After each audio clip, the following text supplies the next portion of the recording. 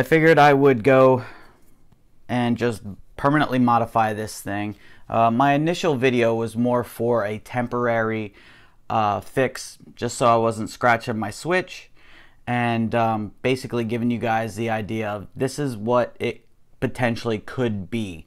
Um, it was never meant to be permanent and uh, I always intended to do something else. So uh, this is what I came up with. So um, as you can see here, it doesn't look too bad. Um, I actually have a couple stickers on order that I'm just going to put something similar to that just so you have some sort of um, idea of what it could look like uh, for you if you decide to do something like this.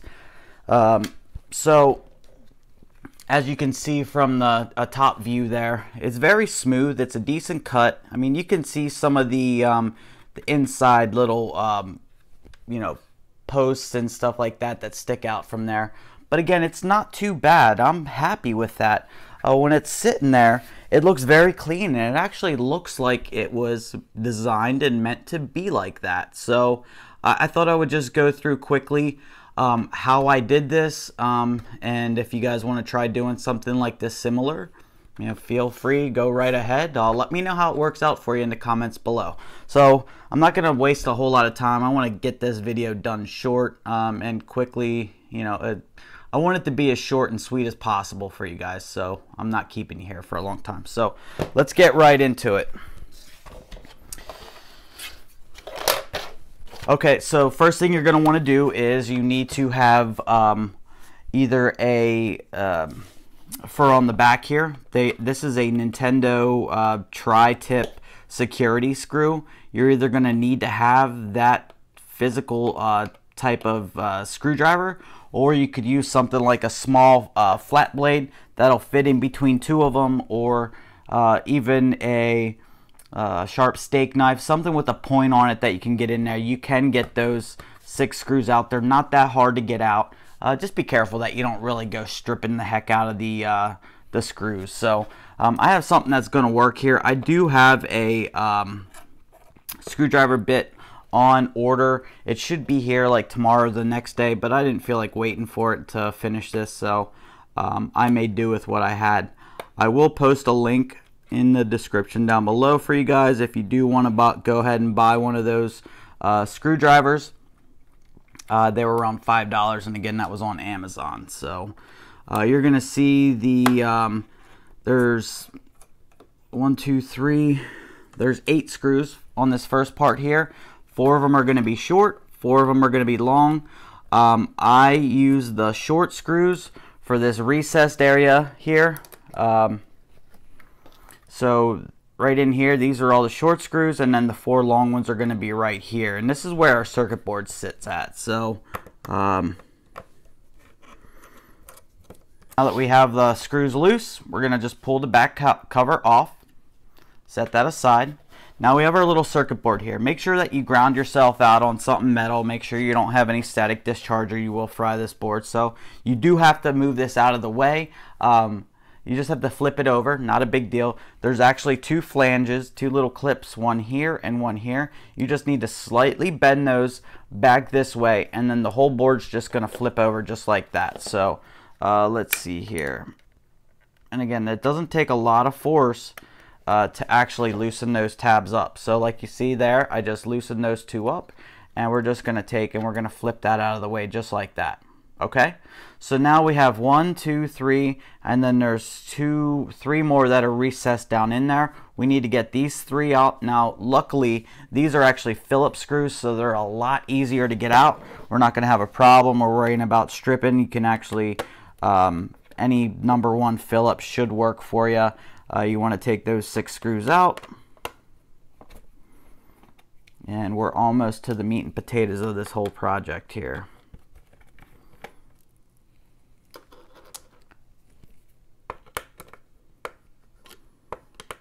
and they're recessed down in there pretty good. So you're going to want to have a, uh, a fairly small Phillips screwdriver, um, something like that right there. As you can see, it's pretty small.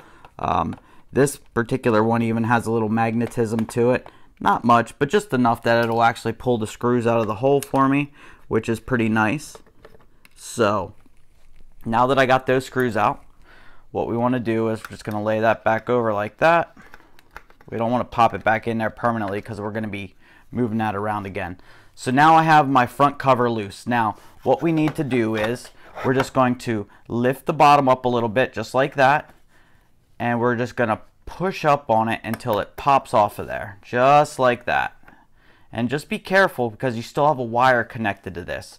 So when we flip that over you can see right here that we have the little um, LED. This is what you know turns on a light there and tell you that you have it in uh, docked mode uh, for TV mode or whatever. So we just want to uh, carefully pull this little circuit board out of here. It's not clipped in or anything. It just kind of rests in a little channel there. You just want to pull that out and we're going to set the whole dock aside and everything, okay? So we're just going to set that over there just like that. Now, you have a little plastic piece in there. I don't know if it's you can see it there. Uh, you can see it pretty easy on the back side there. Now, what we want to do is we just want to push that out of there. Uh, I just, I'm afraid you guys might lose it uh, if you leave it in there for this project. So we just want to pull that out and we're going to set that aside. Okay. So I'm going to pull my little badge off here and I'm going to set this back together like it would have originally been. Okay, so now on the back side of this cover, once you get the whole cover off, you can see it's going to look like that. You'll have this piece here. Now this piece actually is basically like an inner liner almost. It basically just it just clips in there like that and then uh, you know when this is all bolted on uh, this is what actually is theoretically scratching people's switches. This this piece right here. So it was pretty important to get that thing either taped up or felt over it or something like that. Or if you want to do the route that I'm doing, you could actually cut the front of it off and modify this whole thing. So basically what you want to do now is you have your full cover here just like this. You just want to push down on that just like that and you're going to want to lift this right up out of there, okay? We're going to set that aside. You don't need that anymore. We're done with it. So what I suggest doing is um, getting a razor knife and you can see that there is all these tabs here. See, one, two, three, four tabs there, and then we have these weird looking tabs with the three lines on them. You want to make sure that you cut above those, okay? It's very important. If you cut below it, you're going to ruin this whole plate. So just make sure that you cut exactly where I did. So on the sides here, you'll see a couple tabs right there and there. I just made a mark with a razor knife, literally right below that, right there, and right there. So I just marked those both off, okay? So now what you want to do is, or what I did was, when I had that mark in there, on the back side here, I just continued to mark around just like that, and did the same on the other side. Just marked.